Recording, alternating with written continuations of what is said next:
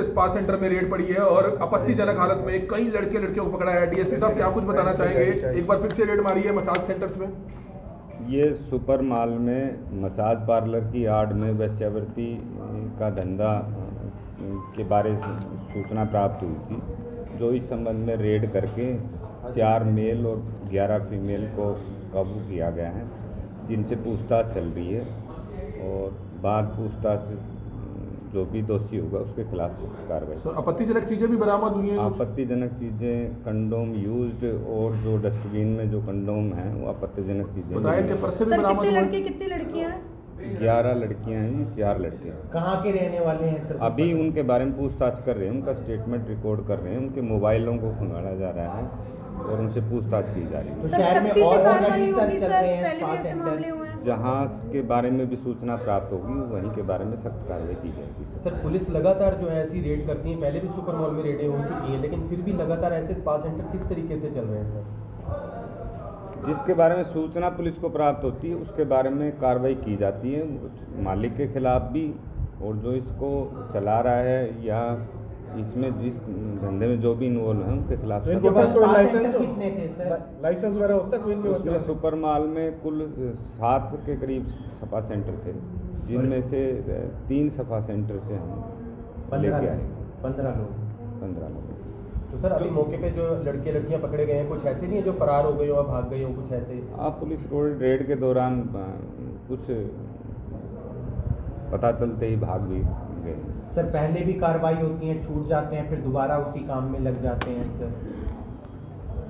Police तो मजबूती के साथ में केस बढ़ाएगी लेकिन जमानत पे फिर बाद में बाहर आके। दोबारा लग जाते हैं। हो सकती है हाँ वो इसीलिए पूछताछ चल रही मैं आपको बता रहा हूँ कि अभी हम लेके आए हैं पूछताछ कर रहे हैं। पीड़ित है तो उसके बिल्कुल निश्चित तौर पर खिलाफ कार्रवाई मालिक के खिलाफ भी कार्रवाई हो सकती है।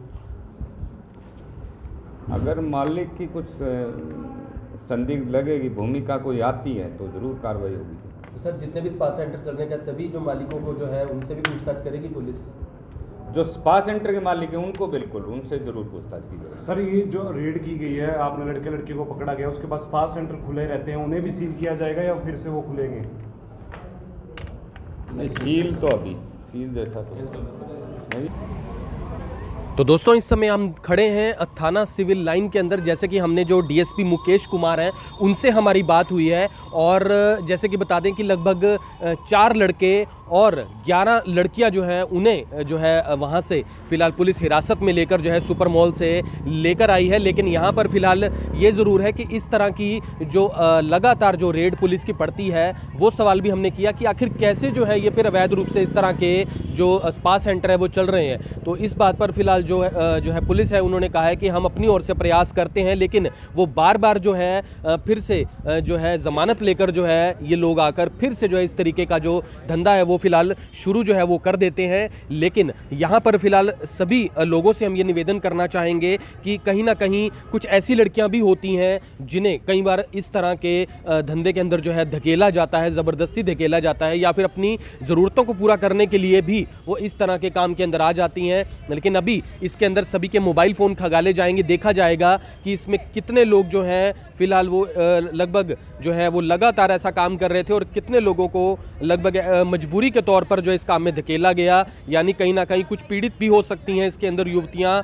और कहीं ना कहीं जो इस काम में मिलकर जो है लगातार इस तरीके का काम जो है वो कर रही हैं। तो अभी तमाम चीज़ें देखने के बाद ही जो है पुलिस आगे निष्कर्ष पर निकलेगी कि किसके खिलाफ जो है मामले को दर्ज करते हुए कार्रवाई करनी है। और फ़िलहाल आप सभी से निवेदन करना चाहेंगे, इस वीडियो को ज़्यादा से ज़्यादा शेयर ज़रूर करें। और बाकायदा ऐसी लगातार जो रेड हैं, वो पहले भी कई बार की जा चुकी हैं। लेकिन यहाँ पर हमारे समाज में ज़्यादातर ये ज़रूर है कि ये जो लोग हैं, कहीं ना कहीं फिर से इसी काम के अंदर जो है लगातार जो है दोबारा आ जाते हैं तो आप सभी से निवेदन करना चाहेंगे, वीडियो को ज़्यादा शेयर करें, फिर जुड़ेंगे अभी ट्वेंटी के ऊपर, तब तक के लिए जाएँगे अब यहाँ तक आ ही गए हैं तो हमारे चैनल को सब्सक्राइब ज़रूर करें और नीचे दिए गए बेल आइकन को ज़रूर दबाएँ, ताकि हर खबर सबसे पहले पहुँचे आप तक।